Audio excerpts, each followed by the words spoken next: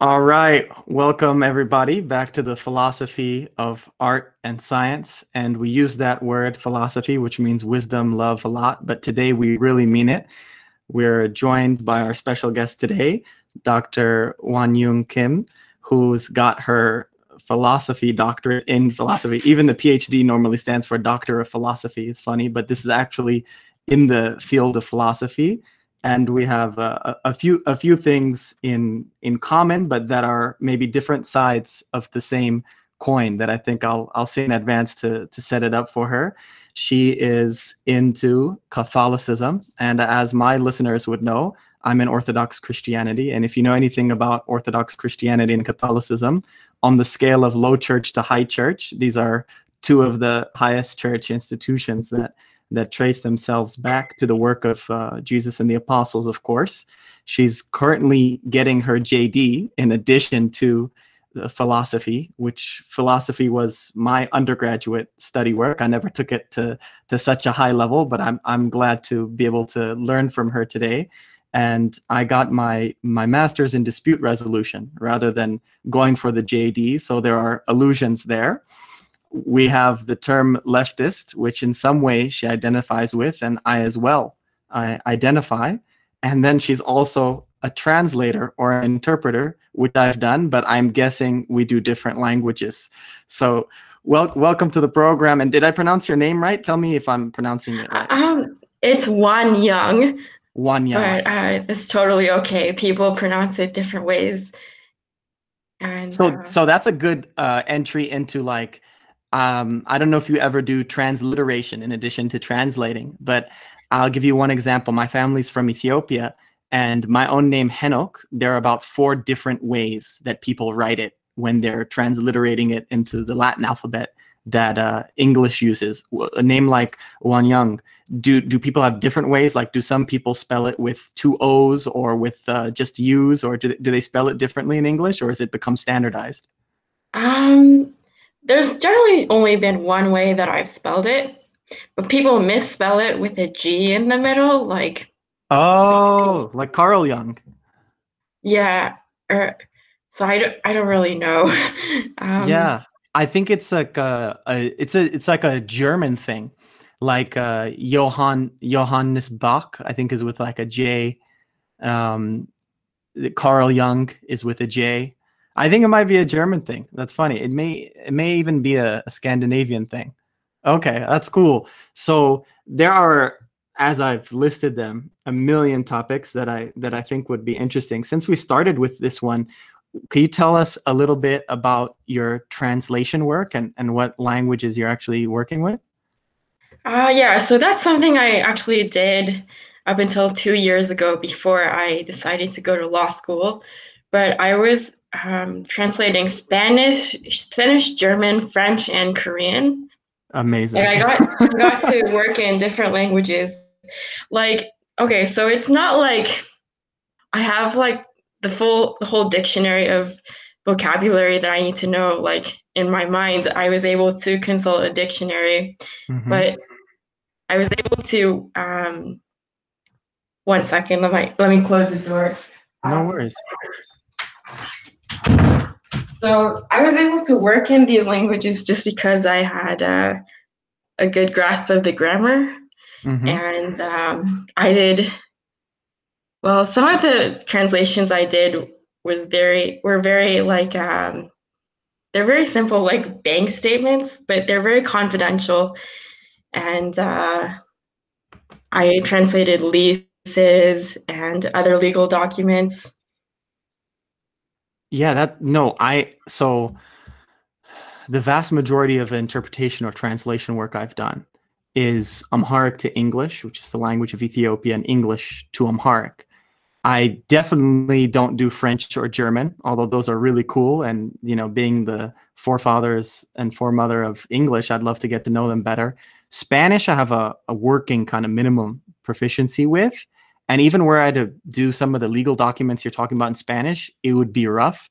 I, I used to be a mediator in the courts of Los Angeles. And during that time, when there were not, as there normally are, plenty of native Spanish speakers, my boss at the time she she knew i could speak a little bit so she would throw me in the fire and i would do kind of verbal translation and interpretation and like you said it's like the same subject matter each time so you're more familiar with it and I was I was able to to even get some legal documents done in English in Spanish. But I will say sometimes it was like Spanglish, you know. Sometimes it's like they're working with me, knowing that this was like a, a free service pre- pro- provided to them by the county, and like the alternative is to go into a courtroom and and uh, you know fight it out in terms of a lawsuit.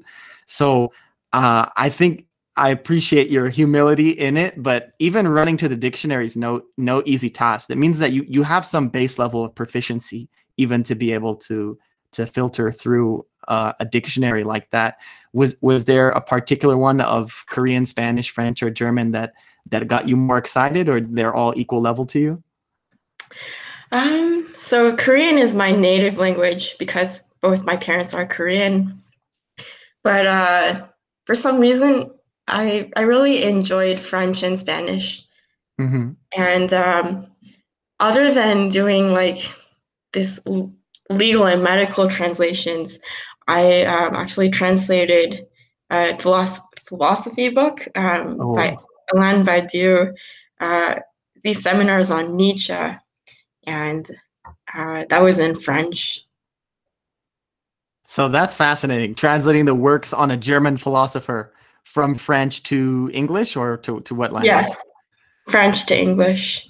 Yeah, that's that's interesting. And and so you did most of these were were written documents. Did you ever have to do the the verbal stuff in in any of the no, languages? No, not at all. Yeah, that's interesting. Is it easier? Do, do you feel it's easier it's or easier just to do? I guess it kind of feels like you're put on the spot when you have to do live translations. Mm-hmm. And you don't really have the opportunity to mess up or to check your work. So I'm glad I've never had to do that. But uh, I might I might have to I might have to do Spanish when I become a lawyer. So Oh yeah. Oh yeah. You know that's that's very interesting because I always found the verbal stuff easier, but only because it was like more non-committal. It seemed to, to allow more fluidity. When I did written texts, I would almost get analysis paralysis in terms of like what word to do. You know, I almost want to like put like five synonyms for every word because I never feel that it's, you know, like I'm never comfortable. This might be the perfectionist coming out. Like I'm never comfortable with whatever the final product was of the one to one translation so that that's cool though that you did so many of those in in writing. And so that's a that's a natural segue since you were discussing nietzsche. Now i did my undergraduate studies in in philosophy and i like to think i'm i'm able to follow a little bit but i, I saw that you came out with your own book. It's titled cosmophenomenology the alterity and harmony of consciousness as dark energy I gotta say, try as I best. Maybe I just have to purchase the book and read it all to understand.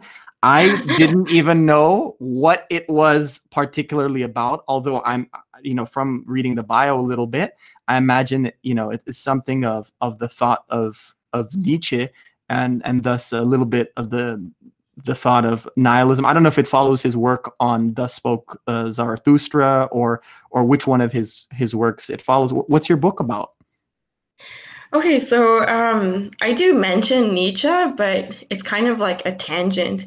So the book is primarily about an approach to phenomenology that um, this a Danish theologian named K.E. Løgstrup came up with. And it, it looks at non human aspects of nature and nature as a whole rather than just a standpoint of human beings. So this is where um, I was able to integrate phenomenology with with the viewpoint of uh, well integrate it with quantum physics. So there's there's that classical classic problem of why a wave changes to a particle when someone is observing it, and that's tied to consciousness. And I was trying to examine that problem and then um, I was also looking at near death experiences. Like, uh, mm-hmm. there are thousands of people who say that they have experienced some kind of afterlife, like heaven or God, um, when they've been and come back. And then yeah, they come back. come back. Yeah, like their brain is completely dead, but they're able to have some kind of mental activity. So that begs the question: Can consciousness survive outside the body? And all bunch of religions say that, but um, I was just trying to uh, go into the theory of some guys named Hameroff and Penrose. Um, Penrose is a mathematician and Hameroff is an anesthesiologist, and they say that um, consciousness is the quantum activity inside these little structures called microtubules. And then when you die, that information is is is still quantum information, so it survives. So I was comparing that to Leibniz's monads, because Leibniz says that the world is constructed of these small psycho psychophysical particles that are indestructible. Yeah, so he, he, was one of, he was one of those. Leibniz, I've actually read some of the other authors. Nietzsche, of all of the ones you mentioned, Nietzsche and Leibniz are the only ones I have read. But the physics portion is interesting because my my last philosophy of religion paper incorporated the study of of cosmology for I think some of the same reasons as you. I think that's a point that other people don't understand. A lot of philosophy papers that I had come across were normally just humanities based, but yours and and you know they'll call themselves interdisciplinary, but your book seems to be from from how you're presenting it like genuinely interdisciplinary across STEM and humanities are the resources that you're drawing from. I think some people don't realize that some of the physics, whether it's quantum physics or the cosmology, delves into things that you know are rightly called philosophy, which is like yes. another side side part of the larger conversation that all of these things used to be housed in philosophy if you go back you know far enough into the to the the past anyway so that that that's interesting um, the the basic substances of the world, the the monads that that Leibniz called, they're still in the universe, right? They're still in in space time. Where some yes. of the thinkers you're encountering saying that the consciousness that leaves the body is is still in space time, is still in the universe, or were they saying that it was you know in another in another universe that that you know we might have to get to through a wormhole or or just like in a i don't even know how to describe it like outside of universes or the multiverse? Well that that's the question. So i leave that kind of open. Like it could be in the same universe. It could be in a, an alternate universe. And uh, we don't really know. Um, but I do talk about that theory and uh, and and it, it does seem seem like it's possible that it could be an alternate dimension even. Um, so those are all questions to think about. That's great. That's great. And obviously, we're not going to talk about every every aspect. Uh, it's in there. Everyone's going to have to go read the book to find out, including me. So that that's very fascinating. I think an an underlying thesis, right? The the the two big theories for those who don't know in cosmology, the two camps. I think the majority camp is the the quantum physics camp that that you studied. Uh, the older camp used to begin from a Catholic priest, which was the you know the very loftily titled Big Bang theory, and the Big Bang theory and this have two main differences but even atheists you know like bertrand russell used to believe in in the big bang theory even though he would just say that it was a a brute fact that the universe came into being at some time out, out of nothing whereas some of the the quantum folks believe that there was no past that, that the past was infinite. That was actually more of the, the the subject of my last philosophical work as an as an undergrad and um, I'm wondering how your your PhD work aligned with the Catholicism. Were, were you into Catholicism at the time, or is it a more recent? And you know, how, how do the those the worldview how how does the worldview of Catholicism um, mesh with or it, be in tension with any of the the philosophical work that you were doing? So um, I actually grew up Protestant.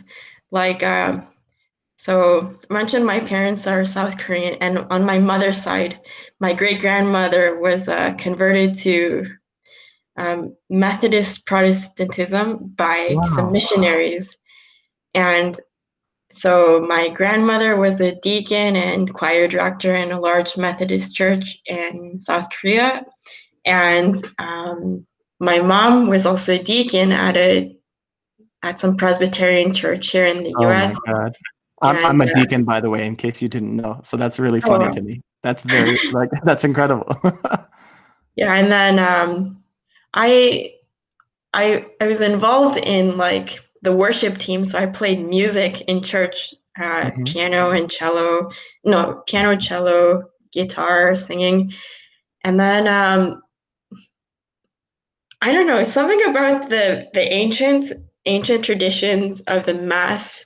Uh, I had I had some mystical experiences during Catholic mass after my brother converted to Catholicism. Wow. And I just felt so connected to the Catholic community and to God. And I found the tradition of praying to saints and to angels very interesting. So that's why I I just became Catholic. Actually, I converted uh, in May. So. Wow, fresh. I, I, had I had a friend recently convert um, to he was a, a catechumen or he was studying orthodoxy, but he he ended up choosing Catholicism. He's a Black American, and uh, he he liked the the universality that he saw in the Catholic Church, and ultimately the the organic Black Catholic movements in the United States. Sometimes uh, in high church culture, we call some of the experiences you're talking about the smells and and the bells, right? The the, yeah. the priesthood, the the incense. From what I understand of of the Methodist, as well as you know, I've, I've had a number of Korean friends, and I, I, grew up in in Taekwondo. So at least when I was a kid, I used to be able to to count in Korean. I've probably forgotten all of that by now, but from what I understand, it it seems at least higher church than most of the evangelical Protestants that I encounter in in the United States. Were were there such thing? I mean, you, you, even you're talking about like deacons. Not every church has deacons anymore. You know, some of them just have a pastor. So you, you had deacons in the church you grew up. Did you have things like incense? Was there a special way of of dressing? Did, did you all follow the the church calendar? Things like that. Um, like Advent and Lent. No, not at all. Those things were all things I associated with Catholicism. Like we just had Easter. Yeah. And we didn't even have like uh like Good Friday or uh, the days leading up to Easter or Lent at all. So um so all the tradition all the all the celebrations and uh, all the traditional like uh, dates that the Catholic and uh, Orthodox uh, churches follow, um, I think it, it leads to a greater sense of community and uh, a more integrated lifestyle. So.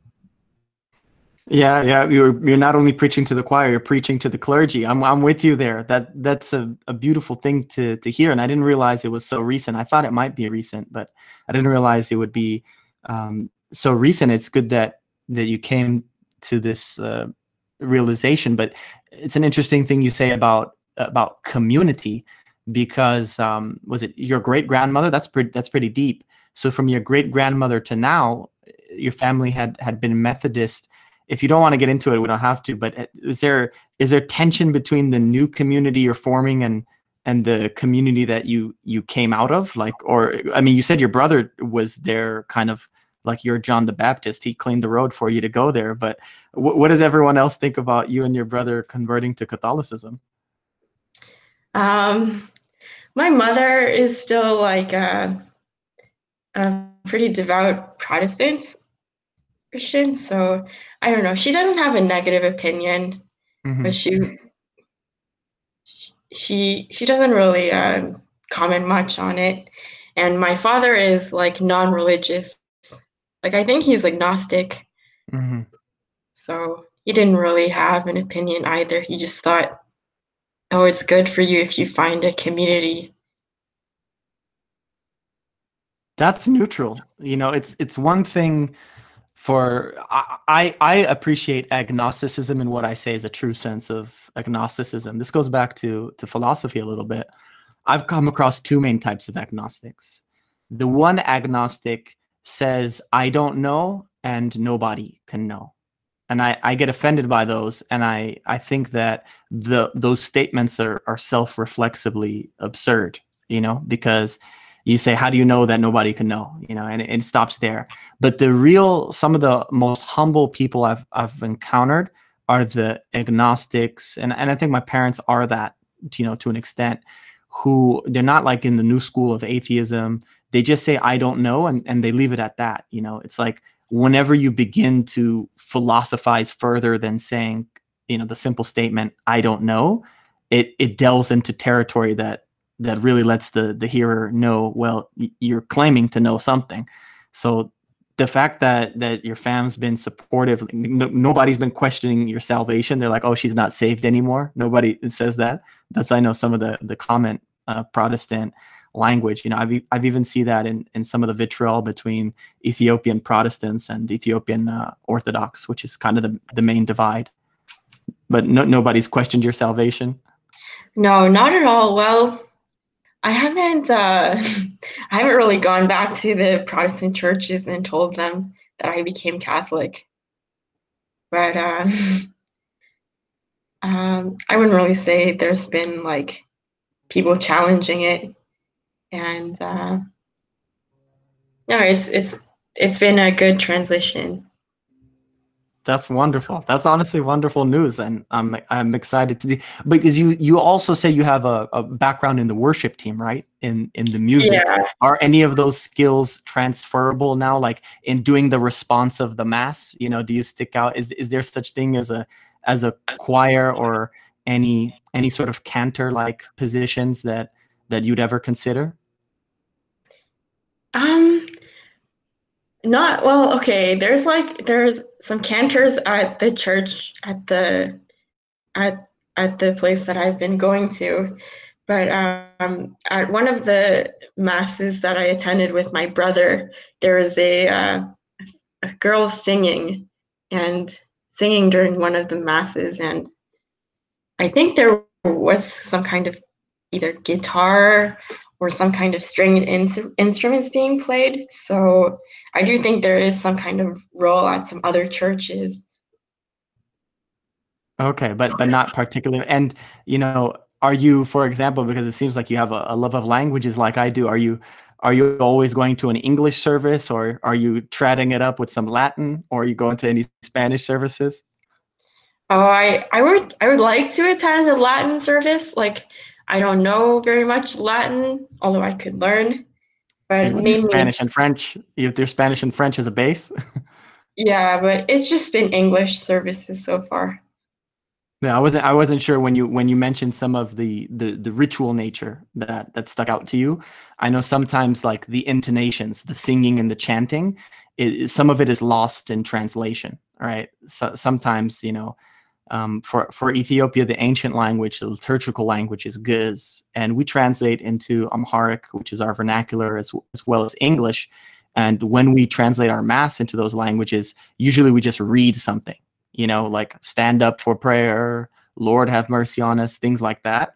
Whereas when it's in the in the the the older languages, it's really more more sung, like the pitch is there and and all of the the kind of musical beauty. So that that's why I was wondering if it was it was more like incense or the vestments or you know the the kind of seriousness of communion.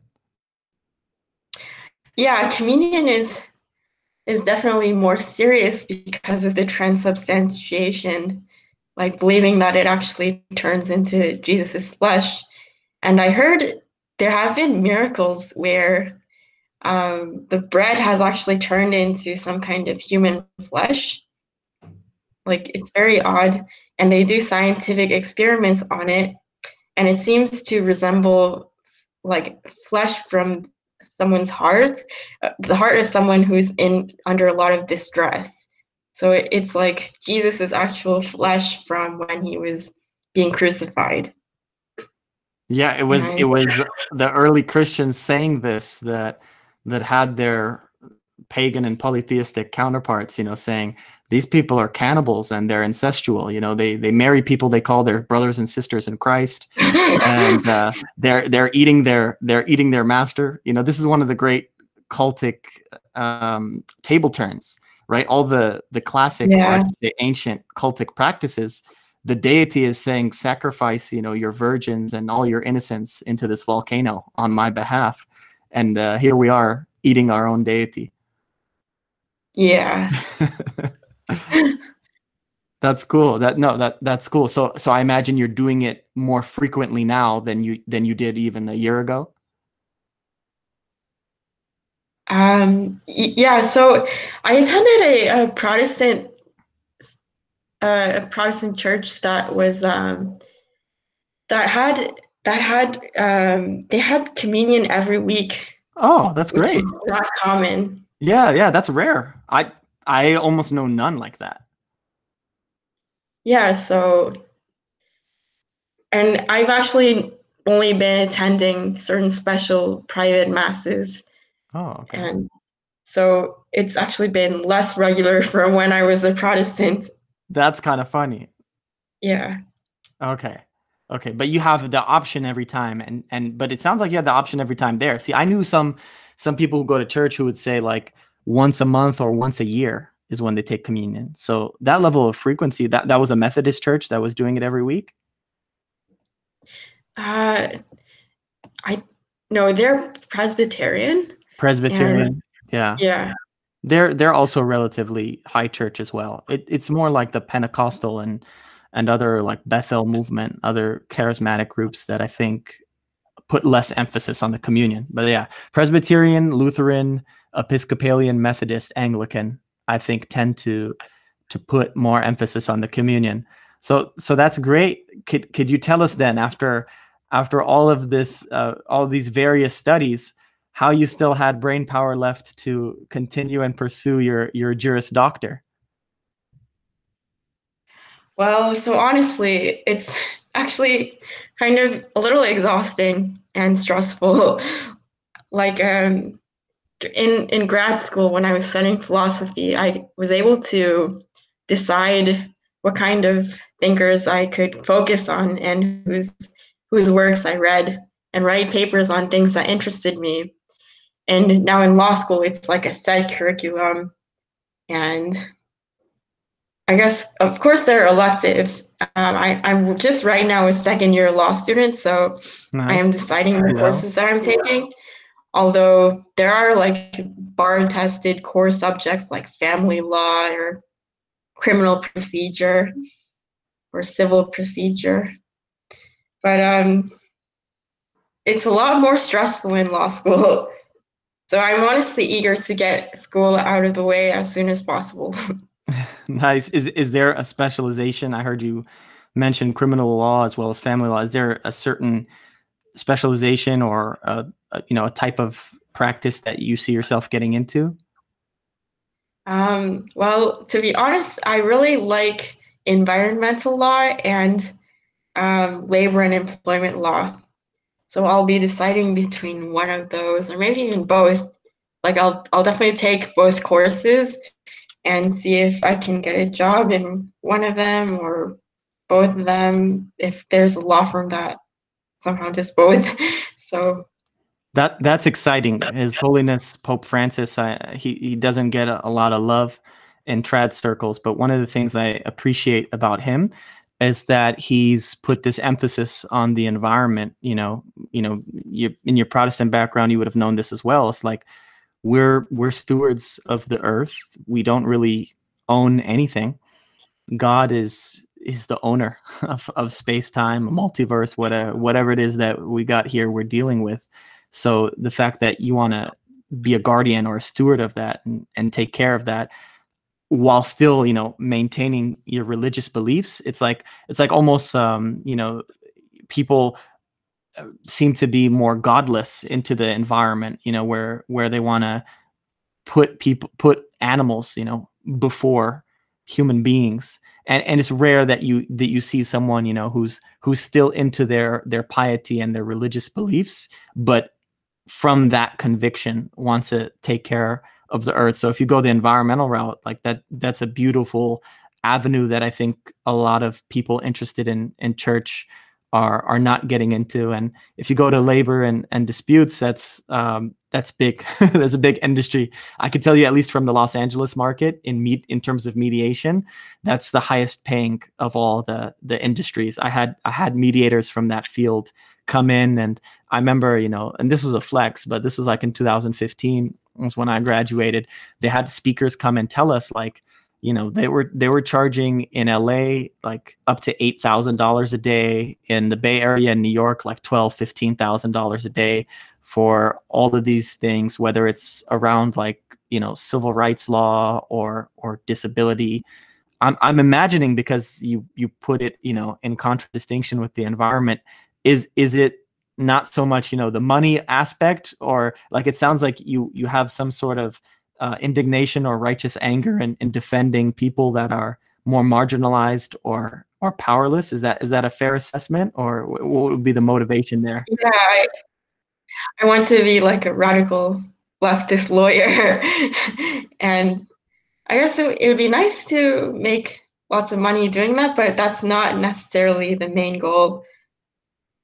Um, and right now, I'm actually trying to decide between taking the Michigan and California bar exams. Uh huh. Um, and in Michigan, though, like obviously, there's not much opportunity for big, bigger, uh, big law or people like uh, most lawyers work in medium to small, smaller law firms. Mm-hmm. And I'm trying to decide if I would like doing that or I want bigger opportunities. So. yeah, for like one of the big law firms in in one of the big cosmopolitan areas. Yeah. Yeah, my my my cousin he just uh, finished and passed the the Cali bar and he's he's working you know for one of the big real estate firms here in in Los Angeles. So I I know that route. You know the idea of working big first and then you could always go back that'll be interesting. You have, I mean, you have time, right? You have a, you have a, a couple of years to decide. It's it's that is interesting though, and, and you brought up one of the the words. I think political words, the definitions, labels. Um, this goes more into philosophy of language. They they are best as conversation starters than conversation closers because leftist lawyer could mean i think so many things even the word leftist means so many things to to so many people. I know you were a part of the the other life event where Curtis Yarvin, who I got to to have a conversation with on Ethiopian history of all things, um, was live here in, in LA. I'm I'm mad that I missed it a few a few months ago, but I would love to hear, you know, what would interest you in a speaker like Curtis Yarvin, who, you know, um, I think himself and others would place kind of squarely on the right or as as right wing and and maybe that's an abusive language. Maybe the language is an issue versus someone like the former president barack obama who i think by majority opinion was a leftist as well as a constitutional lawyer. Um, or or even let's say if not obama someone like like rbg like ruth bader ginsburg right? The supreme court justice is considered both a leftist and you know beyond a lawyer she's she's got to the highest level of of jurisprudence uh, she's in scotus in the united states. So is do you when you say leftist do you mean it differently in in a, than a way that people would understand ruth bader ginsburg or barack obama? And uh, no not a, maybe maybe a little bit more more radical like like uh there are people who call obama a war criminal. Yes because of all the innocent children that he's killed. So I would I would agree. I'm I'm right there with you. I you know, one of my favorite docs that uh, documentaries I just recommended to people is Citizenfour. I don't know if you saw that one with uh, Laura Poitras, Glenn Greenwald doing this this um, you know deep interview of Edward Snowden, right? Who persecuted uh, this whistleblower when he said he was going to have great policy for whistleblower, but Obama, right? Um, so so that's interesting. So so what do you think of that? Like that there's a strain of people who identify, self-identify as leftist, but would call Obama a war criminal. But then he would, I probably, if you ask him, identify as at least progressive, if not a leftist. And other people, you know, would would call him, you know, maybe pejoratively a leftist. What, what do you think about like? Well, that, I that think the people people calling him a leftist are definitely on the right, or uh, some form of conservative. And I think it's more accurate to call him a progressive. So you would not identify with the label progressive? Like for you leftist is is contrary to that? Because i think a lot of people again a lot of people could be wrong. Maybe they're using these labels incorrectly but i think a lot of people would would use those as synonyms i i personally think actually that progressives are a little bit more moderate or closer to the middle than they are to the left. And uh, like Joe Biden would also okay, so he's kind of kind of a little bit more complex, but still still be somewhat of a progressive. Although he has like a he has a track record of supporting segregation and voting against women's rights and um, and he said some things that can be construed as being racist. can be construed as. I, I hear you've you've you've learned legalese already as well. yeah, it's very safe, very safe. I like that. You didn't outright condemn. So so that's interesting. So going back to how you said there are conservatives who would pejoratively refer to someone like Barack Obama as a leftist. I'm with you. I would refer to people like Obama and and and Biden as progressives, and I tend to think of myself more etymologically and historically as a as a liberal, as as Bastiat and Proudhon, who literally sat on the left during the French Revolution. At at the same time, to to take to extend your analysis, I think the people who you know identify this way would who identify as progressives would typically refer to Biden and Clinton and Obama as the liberals. And they use the term liberal pejoratively to to mean yeah. like like what you're saying, like like a moderate. Yeah. yeah. So what what so what do you make of the the muck of uh, you know all all the different ways people people use these terms and then I guess how would you you know identify someone like Curtis Yarvin who who maybe you are potentially interested in and at least hearing out for devil's advocate's sake or or for for something? So uh, curtis yarvin told us about how i guess he had he had communist grandparents and he actually made fun of them but he told us how he support he, he voted for obama and he supports bernie sanders even though he's obviously yep. on the right and he says he's obligated to vote for Joe Biden as well. Yeah, so to me, that actually comes across as being somewhat centrist in in in um, in behavior or in in practice. So um, I I don't know. We we had some very okay. So his talk was was somewhat enlightening. He talked about some history and a lot of World War II, but uh, we actually took. There are a number of people who tripped on, who microdosed on acid mm-hmm. back at the mansion where everyone was staying, and and he he was really going like apocalyptic at the party. he was he was really talking about how the coronavirus was like going to be some kind of catastrophe. And he was talking about how he had stocked up on three months of food back home. I think he lives in Northern California. So, mm-hmm. yeah. And, uh, and I was surprised that he had children. Like I didn't really imagine him to be someone who was who was married or had children. But uh, we went to the basement, no, not the base mansion, but to the Alamo, which was the hall where he was talking. He drove us there, and there were like kids' soccer gear and a soccer ball and kid stuff in the car. And uh, yeah, we just it was interesting to to get to know him as a person.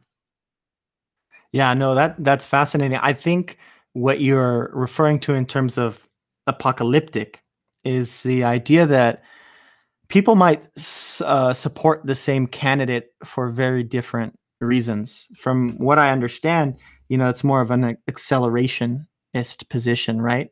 Is the idea that the system is going to crash, and the only way to get to a better state than the status quo is to not slow the collapse, to allow it to happen.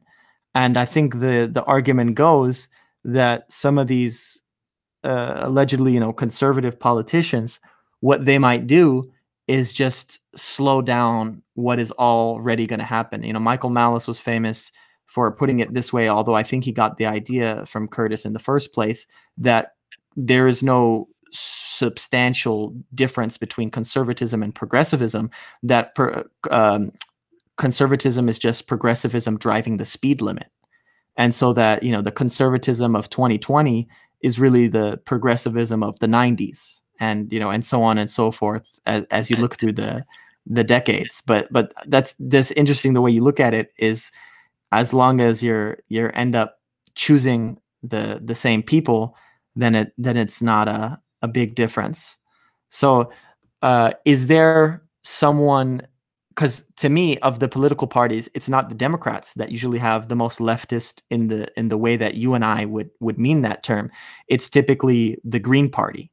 Like i have uh, nassim nicholas taleb's book skin in the game and in the beginning he dedicates the book both to ron paul and to ralph nader and you know ralph nader is the one of the most famous leftists as the way you and i are describing it of all time who who ran in in the green party did, did you ever look into the Green Party as as something that you identify with, or do, do you think there's any difference between them and, and Democrats? I know sometimes people say some elections are too big to uh, to be ideological like that.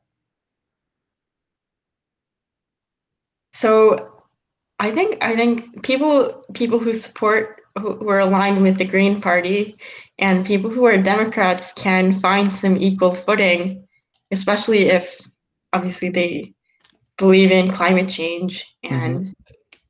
are trying to prevent that through a number of policies. And I never I never actually looked into the Green Party very much, but I knew someone who who very staunchly supported them and was actually trying to run like he was looking at like running for office himself. so I knew a little bit about that, but personally, I never got into it. Okay, so that's cool though. You had like a friend run in the party. Not everybody has that. Yeah, I was. He was. He was. He was interested in uh, somewhat of a grassroots level, and uh, and was attending like uh, these lectures that uh, allowed just about anybody to run for office if they wanted to.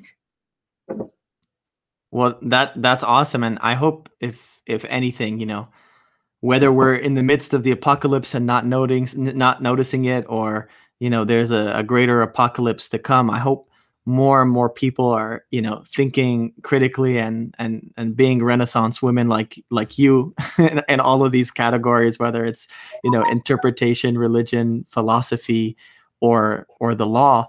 And i really appreciate you giving me my time today. Obviously i'm going to plug your your book when we throw this up on youtube. Are there any other projects or any other things you want folks to to look at or or look out for?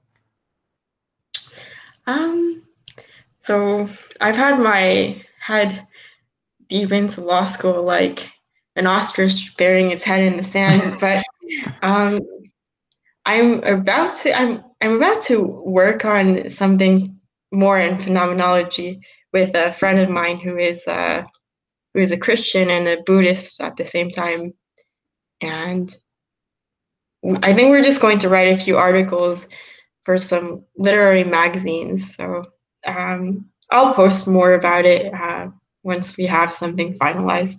That's good. No, that's a good. That's a that's a good promo. Thank you so much.